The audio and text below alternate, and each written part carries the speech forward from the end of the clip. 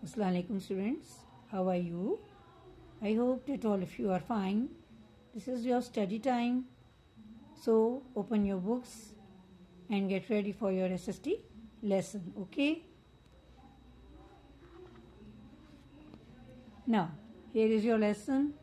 Now before this lesson I told you about two important places. One is airport and the other is the railway station these two are the important places in our country. Now, another important place in our country is a hospital. Okay? Hospital is very very important place and it is found near about eh, in every area and in all our cities. There are so many hospitals. Okay? Now, here you see a picture. In this picture, you can see the exit place from where the people are coming out and entering the hospital. In a hospital, there are so many people working there. Among them, doctor is the most important because doctor give you treatment and it cures you from some sickness or some illness. Okay? So, now look down. Why are these used? Now, there are different pictures here.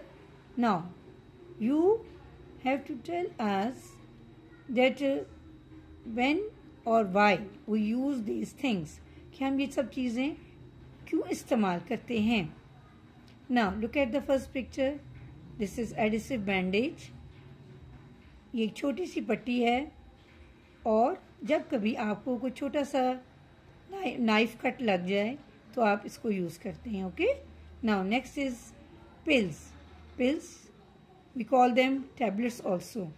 We take tablets when you feel ill okay? Now next injection.